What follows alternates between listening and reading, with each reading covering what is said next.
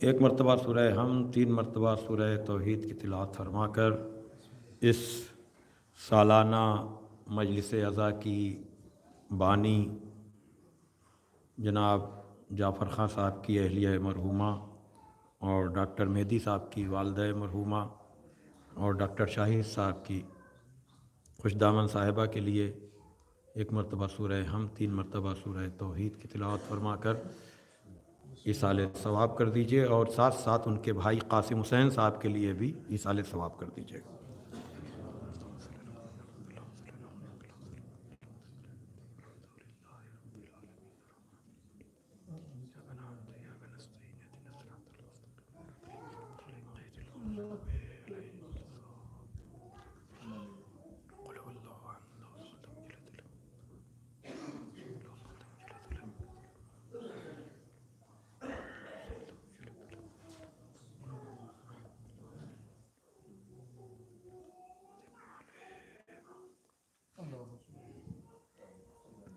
فاتحہ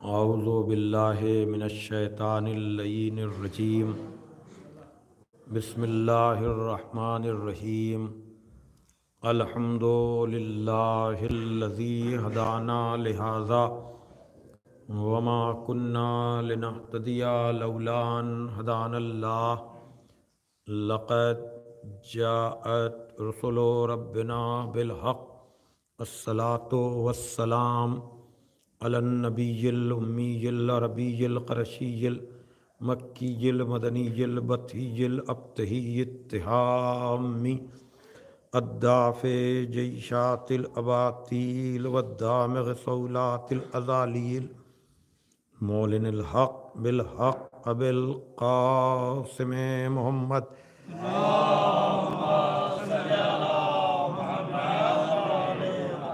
وآله الطيبين الطاهرين المعصومين المظلومين الذين ذهب الله عنهم الرجس وطهرهم تطهيرا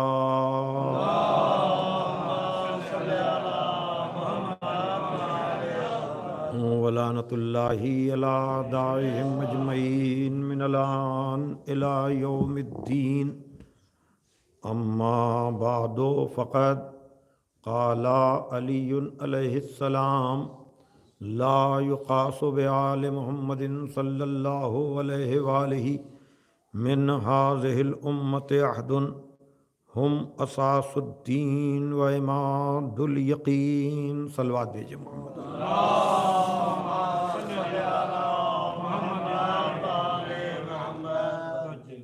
بزرگان محترم و دوستان عزیز، یہ سالانہ مجلس اعضاء جو کتنی قدیم ہے، یہ تو مجھے نہیں معلوم۔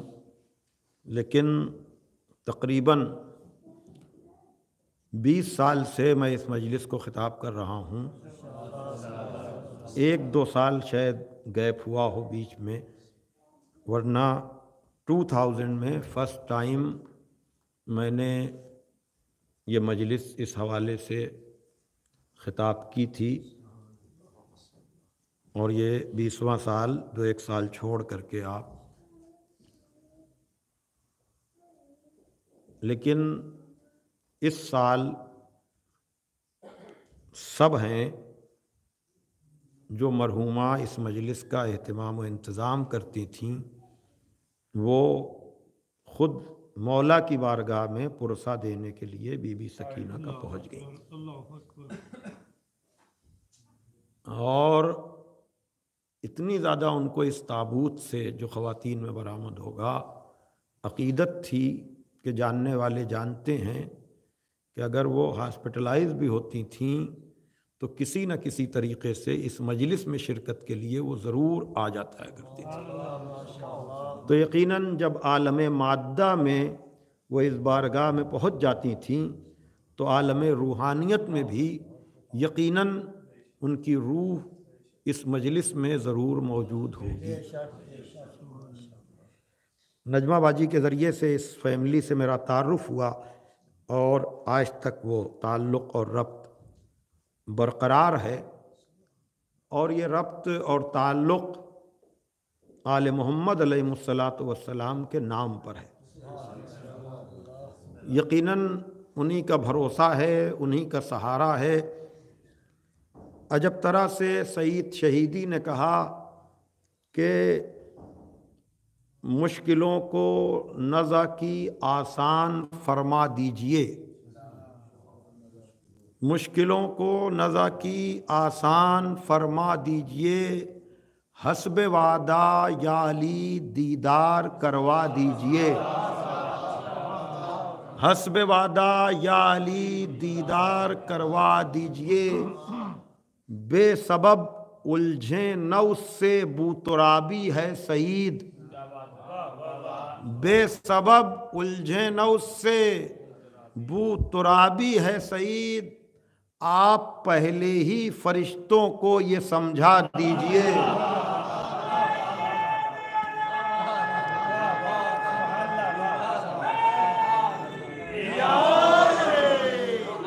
بے سبب الجھن اس سے۔ بو ترابی ہے سعید آپ پہلے ہی فرشتوں کو یہ سمجھا دیجیے۔ یقیناً اسی بارگاہ میں ہم سب نذران عقیدت پیش کرنے کے لیے جمع ہوتے ہیں اور بڑا بھروسہ ہے، بڑا سہارا ہے۔ ہم جیسے گنہگاروں کے لیے میں نے جن الفاظ کو ذریعہ بنایا ہے، کافی تاخیر ہو چکی ہے، بہت تفصیلی گفتگو نہیں ہے۔ ارشاد ہو رہا ہے مولا کائنات کا کہ امت کے کسی فرد کو آل محمد پہ قیاس نہیں کیا جا سکتا۔ ہم اساس الدین و اماد الیقین، آل محمدی دین کی بنیاد ہیں۔ اور یہی یقین کے ستون ہیں۔ آل محمد علیہ السلاۃ والسلام کی عظمت، ان کی بزرگی، ان کا کمال۔ ظاہر سی بات ہے کہ ان مجلسوں میں ہم انہی ضوات مقدسہ کو خراج عقیدت پیش کرنے کے لیے جمع ہوتے ہیں کہ جو یقین کے ستون ہیں اور دین کی بنیاد ہیں۔ جن کے بغیر دین کا کوئی تصور نہیں یہ الگ بات کہ لوگ یہ کہیں کہ اللہ کے ہوتے ہوئے اور کسی کی ضرورت کیا ہے۔ اگر آپ نے اور کسی کی ضرورت کو بیان کیا تو یہ شرک ہو جائے گا۔ لیکن یہ صرف غلط فہمی ہے۔ یہ مغالطہ ہے۔ اس لیے کہ خدا جسم و جسمانیات سے مبرہ ہے۔ وہ دکھائی نہیں دیتا وہ نظر نہیں آتا۔ تو چونکہ وہ ہمارا خالق ہمارا مالک چھٹے امام امام جعفر صادق علیہ السلام۔ ارشاد گرامی ہے کہ لما اسبتنا لنا خالقن و مالکن متعلین انا و انجمی ما خلق۔ جب عقل سے یہ ثابت ہو گیا کہ ہمارا کوئی خالق ہے، ہمارا کوئی مالک ہے، اور وہ ہم سے بھی بلند ہے اور ساری مخلوق سے بھی بلند ہے۔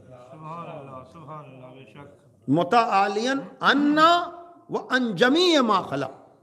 دیکھیے یہاں پر چھٹے امام نے آل محمد کو الگ کر دیا امت کو الگ کر دیا۔ توجہ کیجیے گا۔ متعالین ان ہم سے وہ انجمی ما خلق۔ جو ہم سے بھی بلند ہے اور دوسری مخلوقات سے بھی بلند ہے۔ یعنی بلند تو ہے لیکن ہم اور ہیں دوسری مخلوقات اور ہیں۔ یہی مولا کائنات کہہ رہے ہیں۔ کہ امت کے کسی فرد کو آل محمد پہ قیاس نہ کرنا ہم اساس الدین و اماد الیقین۔ اس لیے کہ آل محمدی دین کی بنیاد ہیں اور یہی یقین کے ستون ہیں۔ ہم انہی کو ذریعہ بناتے ہیں خالق تک پہنچنے کا۔ اور یہ ذریعہ ہم نے نہیں بنایا، یہ ذریعہ خالق نے بنایا۔ اسی مالک نے، اسی رازق نے بنایا۔ تو اب یہ بلند ہیں تو کہا کہ ثابت ہو گیا عقل سے کہ وہ ہم سے بھی بلند ہے اور دوسری مخلوقات سے بھی بلند ہے۔ اب اس نے اپنا پیغام پہنچانے کے لیے مخلوق تک کچھ ذریعے اور وسیلے اور واسطے بنائے۔ ظاہر سی بات ہے کہ جو ذریعہ ہوگا وہ ان جیسا نہیں ہوگا جن تک وہ پیغام پہنچائیں گے۔ ورنہ اگر دونوں ایک جیسے ہوں تو ذریعے کی ضرورت ہی نہیں، واسطے کی ضرورت ہی نہیں۔ ابھی میں عرض کر کے آ رہا ہوں کہ کلمہ پڑھنے والے اور ہیں، کلمہ پڑھانے والے اور ہیں۔ سلوات پڑھ دیں محمد والے محمد۔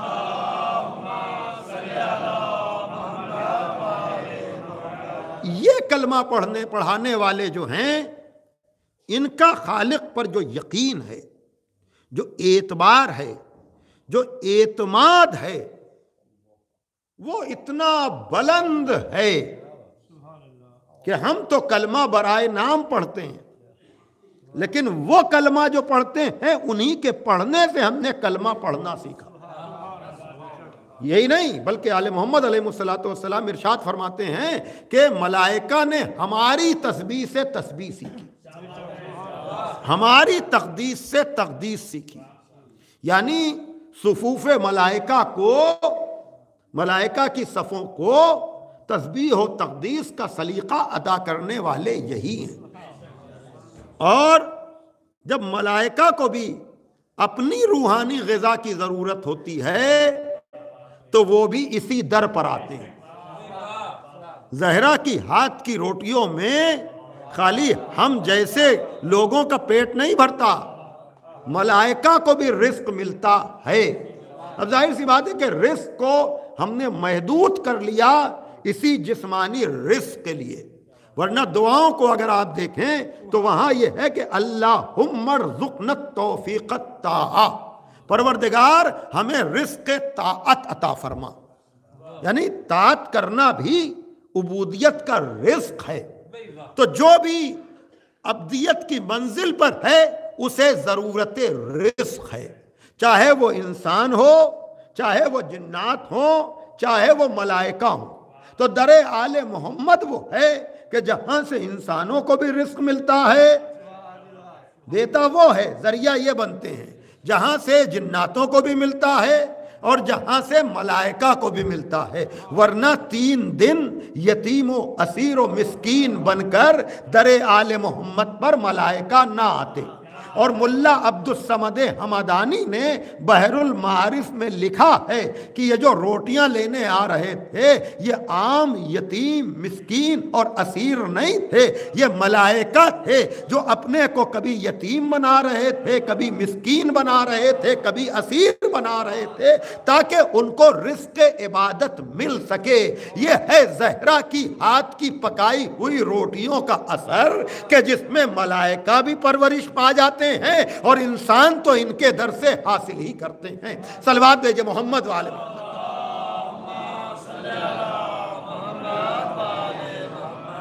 اب یہاں پر ظاہر سی بات ہے کہ سب طرح کے لوگ ہوتے ہیں، سب تک بات پہنچتی ہے۔ تو نماز جیسی عبادت میں مسلمان متفق ہیں کہ نماز سب کو پڑھنا چاہیے۔ اور سورہ ہم کے بغیر نماز نہیں ہے۔ تو اگر کہیں پر ہمارے نوجوان کو کوئی کنفیوز کرے کہ کیسے ممکن ہے کہ اللہ کی عبادت میں کسی اور کا ذکر کیا جائے اور ذریعے اور وسیلے کی کیا ضرورت ہے، تو صرف آپ نماز کے سورہ حمد کو غور کر لیجیے۔ تو آپ کو پتا چل جائے گا کہ نماز جیسی عبادت میں بھی جب تک اللہ کے ساتھ اللہ والوں کا ذکر نہ ہو۔ توجہ کیجیے گا، اللہ کے ساتھ اللہ والوں کا تذکرہ نہ ہو۔ بہت لوگ لڑتے ہیں اللہ کی طرف سے اور سب کو شرک کا فتویٰ دیا کرتے ہیں۔ اور یگانا چنگیزی نے کہا کہ سر پھرا دے انسان کا۔ تیرے سوا سب کافر۔ آخر اس کا مطلب کیا؟ وابیت کی یہی تو فکر ہے۔ سر پھرا دے انسان کا، ایسا خبتے مذہب کیا؟ سر پھرا دے انسان کا، ایسا خبتے مذہب کا۔ کیا؟ تیرے سوا سب کافر، آخر اس کا مطلب کیا؟ سلوات جی محمد والے محمد پر۔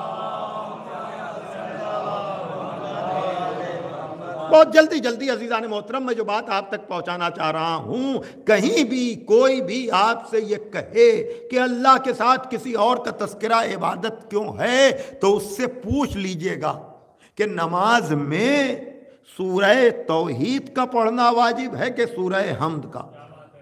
میں واجب کی بات کر رہا ہوں۔ سورہ توحید، سورہ قلو اللہ کا دوسری رکت میں پڑھنا ریکمینڈڈ اور مستحب ہے۔ لیکن سورہ حمد کے بعد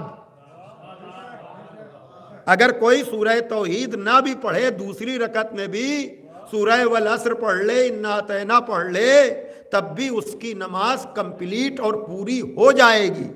لیکن دونوں رکعتوں میں نہیں، پانچوں نمازوں میں دو دو مرتبہ۔ جب تک آپ سورہ حمد نہ پڑھیں، آپ کی نماز نہیں ہوگی۔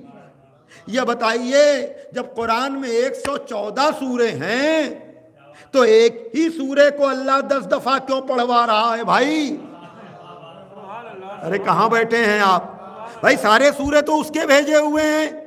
تو یہ ایک ایک نماز میں دو دو مرتبہ، بلکہ تین دفعہ، چار دفعہ کی بھی اجازت ہے۔ یعنی تیسری رکعت میں بھی اگر آپ کو تسبیحات اربا نہیں پڑھنا، پڑھ لیجیے سورہ ہم۔ چوتھی رکعت میں بھی آپ کو تسبیحات اربا نہیں پڑھنا، سبحان اللہ الحمد للہ ولا الہ الا اللہ، واللہ اکبر، پھر پڑھ لیجیے چوتھی میں سورہ ہم لیکن دو مرتبہ پہلی کی دو رکعتوں میں تو آپ سب جانتے ہیں کہ سورہ حمد کے بغیر نماز نہیں ہے۔ ہے نا؟ تو جب سورہ سب اللہ کے بھیجے ہوئے، تو یہ سورہ حمد کا پابند کیوں بنا رہا ہے؟ اور اگر پابندی بنانا تھا اپنی عبادت کے لیے، تو سورہ توحید کو واجب کرتا۔ سارے اسلامی فرقے کہتے ہیں کہ حمد نہیں تو نماز نہیں۔ کوئی نہیں کہتا سورہ توحید نہ پڑھو گے تو نماز نہیں ہوگی۔ لیکن سب کہتے ہیں کہ سورہ حمد اگر نہ پڑھو گے، بھائی لوگوں کو فضائل میں فضائل نظر نہیں آتے۔ یہاں نماز میں فضائل آل محمد نظر آتے ہیں۔ بھائی سلوات پڑھیں نا محمد والے محمد پر۔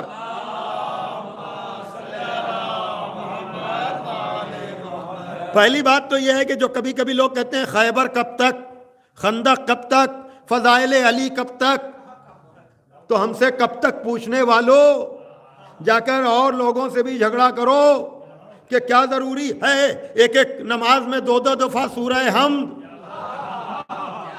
اس کا مطلب یہ کہ تکرار بھی ایک فلسفہ رکھتا ہے۔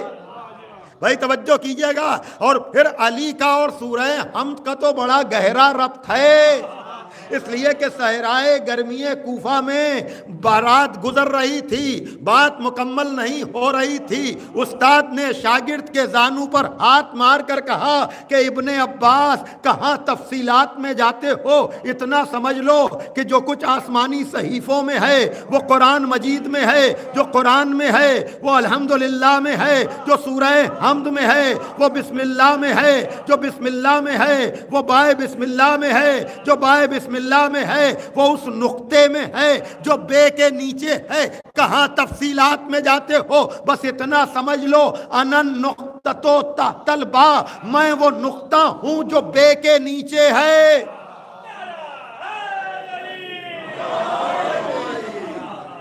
سلوات پڑھتے محمد والے محمد پر۔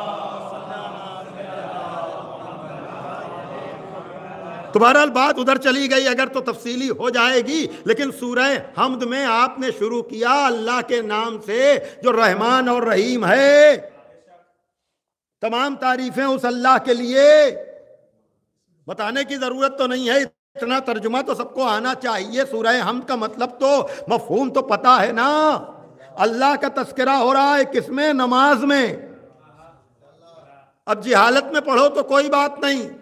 لیکن اگر ذرا سی بھی سمجھ ہے، مالک یوم الدین ایا کا نابدو و ایا کا نستعین، ہم تیری عبادت کرتے ہیں، تجھ ہی سے مدد چاہتے ہیں۔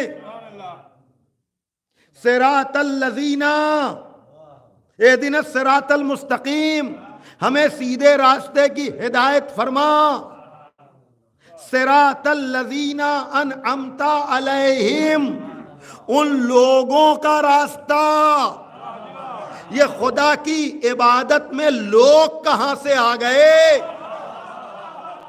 بھائی توجہ فرما رہے ہیں۔ سورہ حمد ہوتا، اس میں تو ولم یق اللہ کفو ہے۔ بھائی وہاں، لیکن سورہ توحید واجب نہیں ہے۔ واجب ہے سورہ حمد، جس میں کہا جائے سیدھے راستے پر قائم رکھ۔ اور ان لوگوں کا راستہ۔ اس کا مطلب یہ کہ نماز بھی لوگوں کے بغیر نہیں ہے بھائی توجہ فرما رہے ہیں۔ نماز جیسی عبادت بھی لوگوں کے بغیر نہیں ہے تو اب وہ لوگ ہیں کس کے پاس؟ اس رتبے والے، اس مرتبے والے۔ کہ جن کا خیال آئے تو نماز باطل نہ ہو۔ ارے مسلمان، رسول کے بغیر کچھ ماننے کو تیار نہیں ہے، ورنہ لوگوں میں پتہ نہیں کس کو کس کو لے آیا جاتا۔ اس لیے پشتے رسول پہ حالت نماز میں حسین کو بٹھایا۔ اور اب کہا کہ جب تک حسین نہ اتر جائے، سجدے سے سر نہ اٹھانا، تاکہ لوگوں کا پتا چل جائے۔ ماشاء اللہ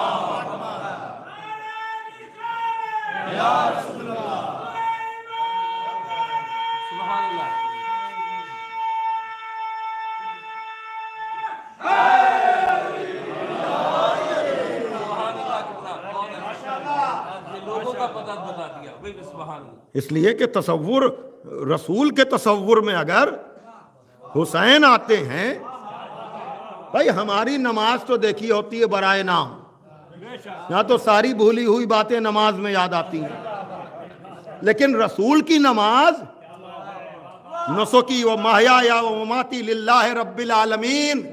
ہماری حیات، ہماری موت، ہمارے مناسک، ہماری عبادت سب اللہ کے لیے۔ ہماری نماز گارنٹی نہیں کہ اللہ کے لیے ہے کہ لوگوں کے لیے۔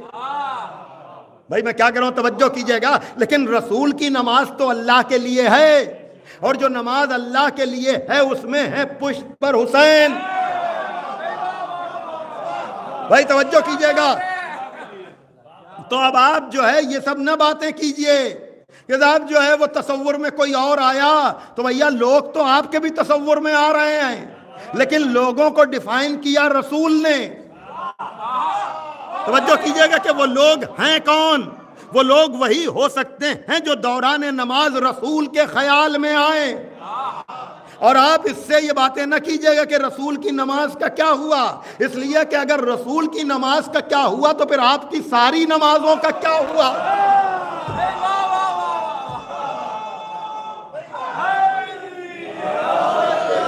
آپ کی ساری نمازوں کا کیا ہوا؟ اور اس بات کو ینابی المعدت نے سلیمان ابن ابراہیم قندوزی حنفی نے یہ بات لکھی کہ بھائی رسول ہیں سجدے میں، پشت پر حسین، ادھر سے حکم خدا آیا کہ دیکھو جب تک سجدے سے سر نہ اٹھانا۔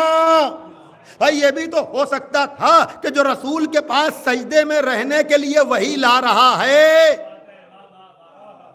کیا ہو گیا؟ اکثر بات بھیجیں آپ ذرا محمد والے محمد پر۔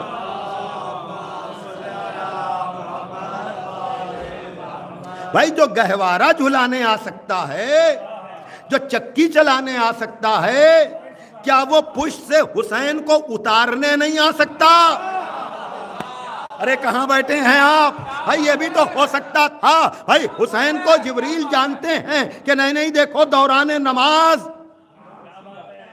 بھائی آپ کے یہاں بتائیے، اگر آپ نماز پڑھ رہے ہوں، ارے روزانہ یہ سب ہوتا رہتا ہے کہ نہیں؟ آپ نماز پڑھ رہے ہوں، آپ کا چھوٹا بیٹا، آپ کا نواسا، آپ کا پوتا، اگر دوران نماز آ کر کے آپ قبلے کی طرف ہوں، وہ آپ کی طرف سجدہ کرنے لگے یا آپ کی پشت پر سجدے میں بیٹھ جائے؟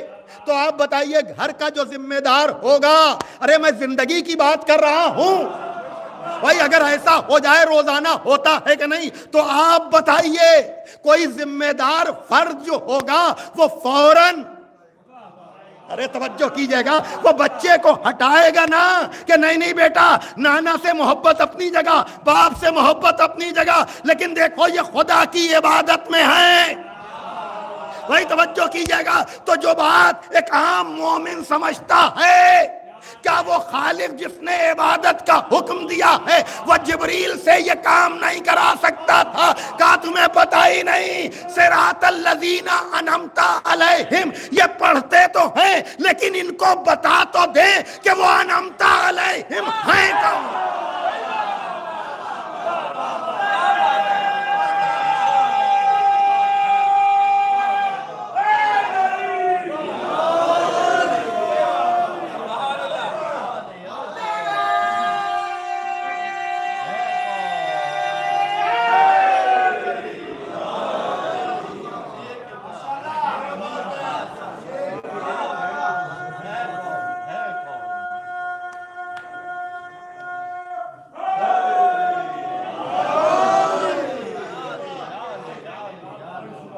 اگر علمتا علیہم کا پتا ہے، تو پشت رسول حسین میں سمجھ میں آئیں، پشت رسول پر حسین سمجھ میں آئیں گے۔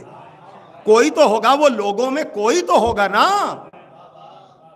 تو وہی والی بات، تم اپنے لوگوں کو لے آؤ، ہم اپنے لوگوں کو لے آئے ارے، میں کیا کر رہا ہوں؟ توجہ فرمائیے گا۔ تم اپنے لوگوں کو لے آؤ، ہم اپنے لوگوں کو لے آئیں۔ لیکن یاد رکھنا، وہ لوگ ایسے ہوں جنہیں اپنی نماز کی قبولیت کا یقین ہو۔ یقیناً وہ لوگ نہیں بن سکتے جنہیں خود سیدھے راستے پر ہونے کا یقین نہ ہو۔ ارے سلوات پڑھے محمد والے محمد پر عجیب رخ سے مجلس ہو گئی۔ سلوات پڑھ دے محمد والے محمد۔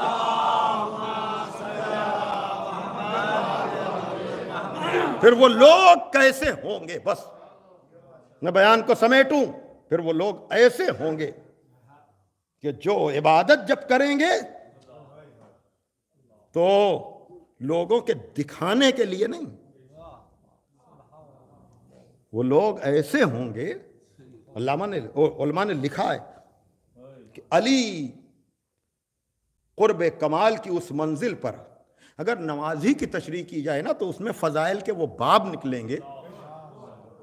ہم سب نماز میں نیت کرتے ہیں بھائی قربتاً اللہ قربتاً اللہ لیکن کبھی ہم خدا سے قریب ہوئے بھی یا تو یہ کہیے یہ قربتاً اللہ فرضی ہے۔ یاد رکھیے گا ہر عمل کا ایک منزل کمال ہوتی ہے۔ جیسے ایمان کے درجے ہیں نا۔ ایمان جو ہے وہ درجے والی چیز ہے۔ سب کا ایمان ایک جیسا نہیں ہوتا۔ اگر ایک جیسا ہوتا تو سات درجے والے ایمان نہ ہوتا، آٹھ درجے والا نہ ہوتا، نو دس درجے والا ایمان۔ اسی طرح سے عبادت کے بھی درجے ہیں۔ قرب، قریب ہونا بھی توجہ کر رہے ہیں نا؟ قرب و بوت یہ نسبتیں سمجھ میں آ رہی ہیں کہ نہیں؟ میں جو بات کہہ رہا ہوں۔ قریب میں کوئی بہت قریب بہت قریب بہت قریب۔ تو قربتاً اللہ کا مطلب یہ ہے کہ ہم جسمانی طور پر تو خدا سے قریب ہو نہیں سکتے وہ جسم رکھتا ہی نہیں ہے۔ تو وہ مانوی طور سے قریب ہوگا۔ تو قریب ہوگا نا؟ بھائی قربت کا پتا کیسے چلے کہ کون کتنا قریب؟ میں کہاں لے آیا آپ کو؟ یا تو یہ کہیے کہ یہ نیت جو ہے یہ فرضی ہے۔ لیکن اگر نیت یہ سچی ہے تو قرب خدا میں ہوگا نہ کوئی؟ کوئی زیادہ، کوئی کم کوئی کم کوئی کم وہ کوئی زیادہ زیادہ زیادہ، اتنا زیادہ؟ نہیں، خدا سے بات کی جائے، سنے وہ۔ بھائی توجہ کیجیے گا، یہ علماء نے کہ علی نے حالت رکو میں زکات کیوں دی؟ مانگ رہا تھا خدا سے۔ سن رہے تھے علی۔ اب آپ اگر یہاں پر کہیں گے کہ اگر علی نے حالت رکو میں زکات دی، تو پھر ان کے رکو کا کیا ہوا؟ تو پھر میں فوراً پوچھوں گا نبی کے سجدے کا کیا ہوا؟ بھائی، یہ تو ہم ایک کے بعد ایک سلسلہ ہے نا؟ اگر آپ کو یہ سمجھ میں نہیں آ رہا ہے کہ اگر دوران رکو علی نے زکات دے دی، تو ذہن کہیں اور کہیں اور نہیں، خدا کے پاس۔ بھائی توجہ کیجیے گا۔ بھائی جب نبی کے تصور میں حسین آئے اور یہاں پر، اور دیکھیے میں بات تو گہرائی تک لے جانے کا عادی ہوں۔ آپ یہی کہہ رہے ہیں نا کہ حالت رکو میں اگر علی کا ذہن کہیں اور گیا تو پھر نماز کیسی ہوئی؟ تو آپ جماعت پڑھتے ہیں نا؟ مولانا ارشد ترابی صاحب گئے ہوئے ہیں، خدا خیریت سے انہیں واپس لائے۔ یا جہاں بھی آپ کو کتاب توزیل مسائل جہاں بھی مل جائے، جماعت کی نماز کے کا پروسیس ہے نا؟ کیا ہے اس میں؟ جماعت کا فائدہ یہ ہے کہ اگر رکو تک بھی آپ شامل ہو جائیں، تو آپ کو پوری رکت کا ثواب ملے گا۔ توجہ کیجیے گا۔ تو اس کا کوئی طریقہ بھی بتایا گیا ہے نا؟ کیا طریقہ ہے؟ اس لیے کہ پیش نماز صاحب آگے دیکھتے ہیں، پیچھے نہیں دیکھتے۔ انہیں نہیں پتا کہ کب کون آیا۔ کون شروع سے آیا یہ تو معلوم، لیکن جو تاخیر سے آ رہا ہے، تو کہا یہ گیا کہ جو نیا آنے والا ہو نماز میں، وہ یا اللہ کہہ کے پیش نماز صاحب کو مطلع کرے۔ ارے میں کہا کہہ رہا ہوں، توجہ فرمائیے گا۔ تو یاد رکھیے گا، کسی مشتحد نے بھی یہ نہیں کہا۔ قرآن و حدیث کی روشنی میں کہ تم دوران نماز کسی اور آواز پر اپنا کان نہ لگانا، ورنہ تمہاری نماز نہ رہے گی، بلکہ الٹا یہ ہے کہ اگر کوئی یا اللہ کہے تو تم ذکر رکو کو طول دے دو۔ بھائی توجہ کیجیے گا، تو جو نمازی کرتا ہے، وہی تو سائل بھی کر رہا تھا۔ نمازی بھی یا اللہ کرتا ہے، وہ سائل بھی یا اللہ کہہ رہا تھا۔ لیکن مولی صاحب زکات نہیں دے سکتے، یہ رکو کو طول دے سکتے ہیں۔ گویا کہ یہ عمل جماعت کا علی کے رکو کو یاد دلانے کے لیے ہے۔ سلوات دیجیے جی محمد والے محمد پر۔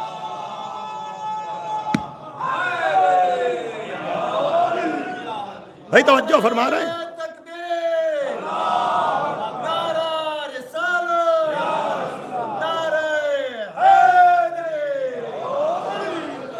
توجہ فرما رہے ہیں عزیزان محترم، ساری باتیں غیر ارادی طور پر نماز پر ہوتی چلی جا رہی ہیں۔ ارادہ نہیں تھا میرا، لیکن لوگوں کے، اس میں جو ہے، میں یہاں تک آپ کو لے کر کے آیا کہ لوگوں کا تصور، اگر وہ اللہ کے قریب نہ ہو تو ان کا تصور نماز کو باطل کرے گا۔ لیکن خدا سے اتنے قریب ہوں، توجہ کیجیے گا کہ ان کا تصور آپ کی نماز کو کمال عطا کر دے۔ انمتا علیہم اسی لیے ہے۔ توجہ کیجیے گا اور اور پھر آپ ان کے عمل کی نقل نہ کیجیے گا۔ کچھ لوگوں نے کی۔ اچھا نبی بھی، خدا بھی علی کے فضائل کیسے کیسے پڑھتا ہے؟ ایک دم سے لوگ آئے اور نبی نے پوچھا کہ حالت رکو میں رکو کے عالم میں کیا کسی نے کچھ سائل کو دیا؟ یہ بڑے چالاک لوگ ہیں۔ خیبر کا پتہ ہے نا آپ کو؟ خیبر میں نبی نے صفتوں کا اعلان پہلے کر دیا تو سب علم کے تمنائی بن گئے۔ جب کہا کل میں علم دوں گا رجل کو، کرار کو، غیر فرار کو، تو سب پنجے اٹھا اٹھا کر اپنی صورتیں دکھا رہے تھے کہ ہم بھی ہیں۔ اور یہاں نبی نے کیا کیا؟ کہ حالت رکو میں کس نے زکات دی؟ حالت رکو میں کس نے خیرات دی؟ تو انہوں نے جو غیر ارادی طور پر علی کا نام لیا، یہ سوچ کر کے ارے کہاں بیٹھے ہیں آپ؟ کہ تنبی کریں گے نبی۔ حد ادب۔ نبی تنبی کریں گے متنبع کریں گے۔ کہ یہ کیوں کیا کسی نے؟ تو علی کی محبت میں نہیں۔ توجہ کیجیے گا۔ اب اپنے اپنے مقدر کی بات ہے۔ کوئی محبت میں بول پڑتا ہے، کوئی عداوت میں بول پڑتا ہے۔ فوراً کہا کہ یا رسول اللہ وہ تو علی نے کیا۔ اب رسول نے کہا کہ اگر علی نے کیا ہے تو علی کے لیے تو آیت آئی ہے۔ اب یہ ہاتھ مل کے رہ گئے۔ اب یہ ہاتھ مل کے رہ گئے کہ کاش علی کا نام نہ بتایا ہوتا اپنا نام بتا دیا ہوتا۔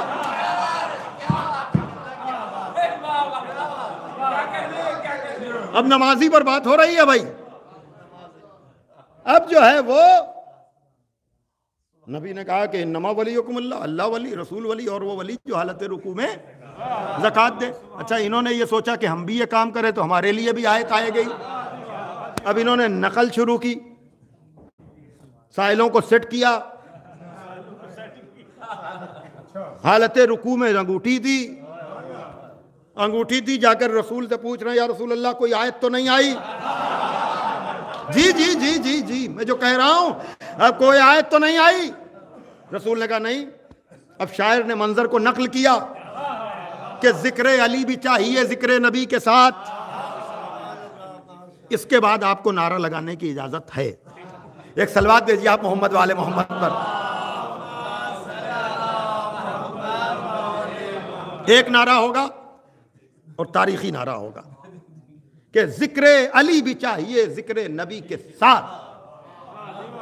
ذکر حسین بھائی، یہ شعر میں نے نہیں پڑھا لندن میں۔ کہ ذکر علی بھی چاہیے، ذکر نبی کے ساتھ۔ ورنہ کھلا فریب ہے یہ زندگی کے ساتھ۔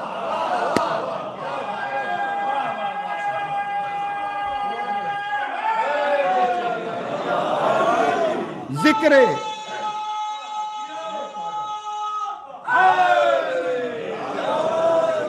نماز کی بات ہو رہی ہے، نماز کی۔ ابھی تک تو ان لوگوں کی بات تھی جن کا تصور ضروری ہے۔ لیکن انمتا علیہم خالی نہیں ہے سورہ حمد میں۔ ولزالین بھی ہے۔ ارے توجہ کیجیے گا۔ ذکر علی بھی چاہیے، ذکر نبی کے ساتھ۔ ورنہ کھلا فریب ہے یہ زندگی کے ساتھ۔ اور حیدر کی ہمسری میں جو فیاض بن گئے، ان کی نماز بھی گئی انگشتری کے ساتھ۔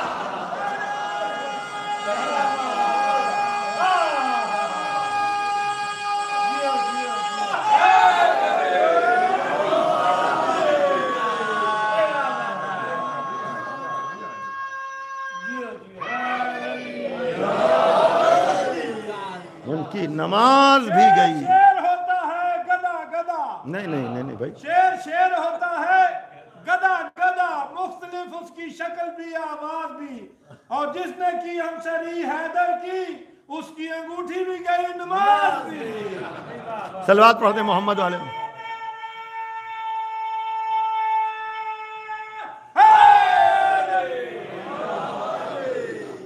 بہرحال عزیزان محترم یہ لوگ وہ ہیں۔ اور لوگ خالی فضیلتوں میں نہیں ہیں۔ اس لیے کہ مجلس کے دو جز ہیں، ایک فضائل اور ایک مسائب فضائل اس لیے تاکہ خوشی آپ کو سیدھے راستے سے نہ ہٹائے۔ مسائب اس لیے تاکہ کوئی مصیبت آپ کو سیدھے راستے سے نہ ہٹائے۔ یقیناً اس خانوادے پر میں نے کہا جن کی طرف سے یہ مجلس ہے، ایک طرف تو ان مرحومہ کا انتقال یقیناً بیٹوں کے لیے، بیٹی کے لیے اور دوسرے گھر والوں کے لیے بڑی خدمت کی گئی۔ لیکن سہارا ہے۔ اور یہ مجلس جب بھی اب آئے گی تو گھر والوں کو مرحومہ کی یاد آئے گی۔ وہ اہتمام، وہ انتظام، وہ انتظار۔ کہ نہیں مجلس کا اہتمام۔ اور کیا کہنا اس گھرانے کا؟ جن کا ہم ذکر کر رہے ہیں۔ کہ اگر فضیلتوں میں ان کا جواب نہیں ہے، تو مصیبتوں کے برداشت کرنے میں بھی ان کا جواب نہیں یہ ایسے لوگ ہیں یہ۔ فضیلتیں تو آپ نے سنی لیکن پھر اسی حسین نے ایسی کربلا سجائی، ایسا سجدہ کیا کہ ابھی میں شعر پڑھ کر آیا ہوں، لیکن بہت اس میں یقیناً بوقت صرف بتائیں یہ صاحب معراج۔ فاصلے کی بات ہو رہی ہے نا، قربت کی بات ہو رہی ہے۔ کون خدا سے کتنا قریب ہے؟ بوقت اثر بتائیں یہ صاحب معراج، خدا سے اب بھی کوئی فاصلہ حسین کا ہے؟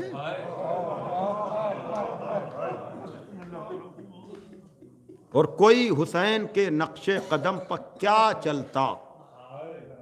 کوئی حسین کے نقش قدم پر کیا چلتا؟ سنا کی نوک بھی ایک راستہ حسین کا ہے۔ اور یہ شولہ جون پوری کے اشعار تھے۔ انہی کا ایک شعر اور بھی کہ ہو جائے گا کچھ تجھ کو بھی احساس کربلا۔ ہو جائے گا کچھ تجھ کو بھی احساس کربلا۔ تنہا کسی عزیز کی میت اٹھا کے دے۔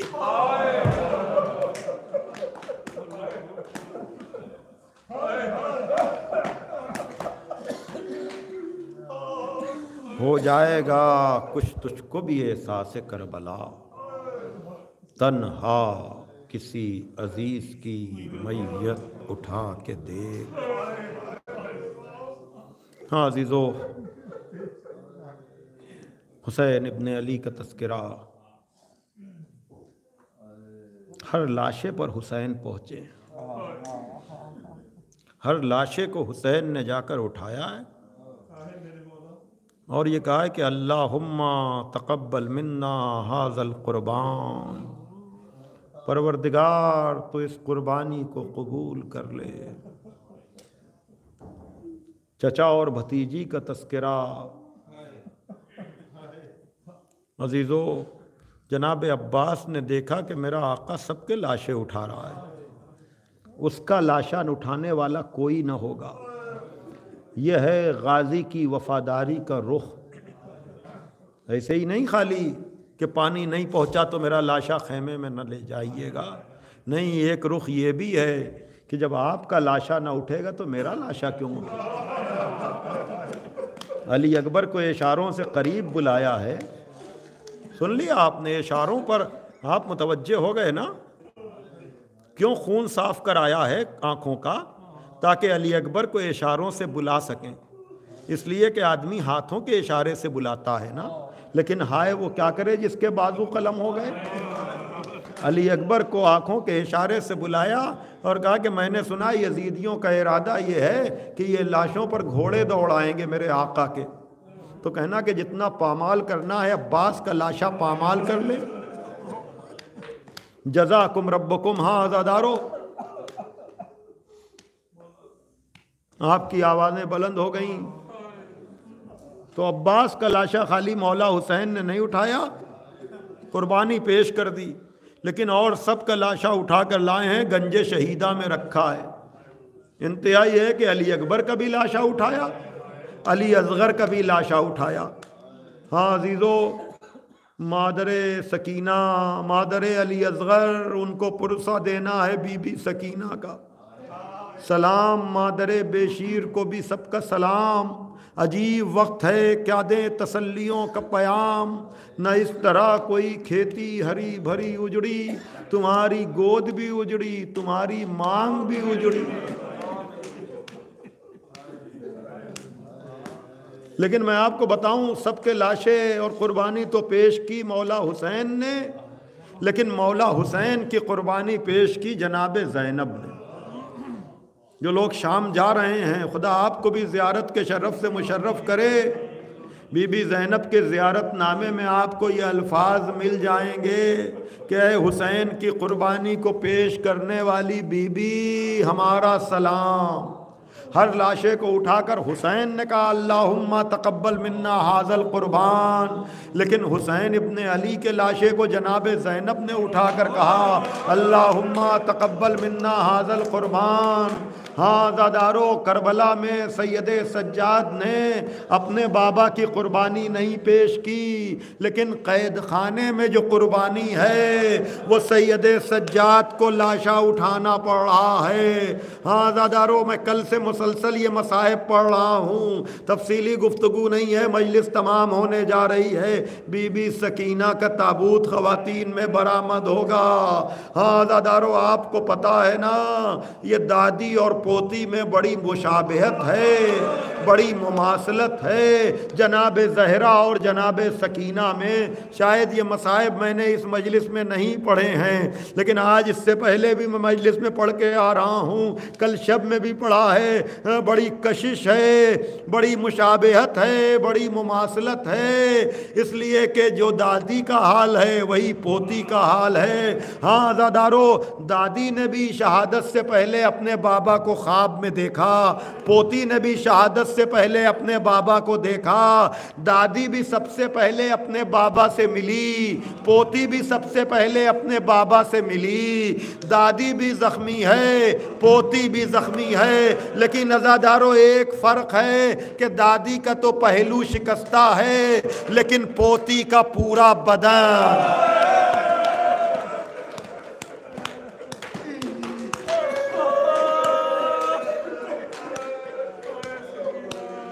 گٹ گٹ کر نہ روئیے گٹ گٹ کر نہ روئیے۔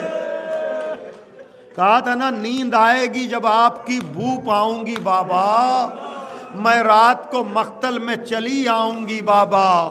ہاں بڑا انتظار تھا بی بی سکینہ کو۔ ارے، اپنے بابا کو خواب میں دیکھا۔ میں نے کہا نا دادی بھی زخمی ہے، پوتی بھی زخمی ہے۔ لیکن دادی کا پہلو شکستہ ہے، پوتی کا بدن شکستہ ہے۔ اتنا زخمی بدن ہے کہ لباس بی بی سکینہ کا غسل کے لیے اتارا نہ جا سکتا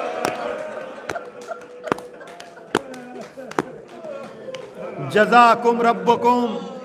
ازادارو جناب زہرہ کے مصائب سننے والوں آپ کو پتا ہے نا، جب مولا علی بی بی زہرہ کو غسل دے رہے تھے وسیعت کے مطابق۔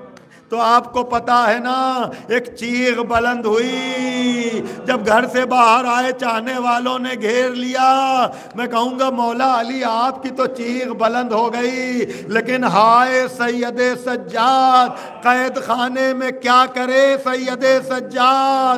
ہاں دادارو آپ کو معلوم ہے نا، جناب سید سجاد نے اپنی بہن کا لاشا اٹھایا۔ لاشا اٹھا کر کہا ہوگا اللہ تقبل منا حاضل قربان میں نے کہا نا، یہ روحانیت کی دنیا ہے۔ اگر مومنہ جن کی مجلس، جنہوں نے یہ مجلس قائم کی، اگر ان کو اجازت مل سکتی ہے، تو جو نور مطلق ہیں اگر وہ آ جائیں سکینہ کو لینے کے لیے ہاں دادارو سید سجاد، ہاتھوں میں ہتھ کڑی پیروں میں بیڑی بی بی سکینہ کا لاشا لے کر کے چلے۔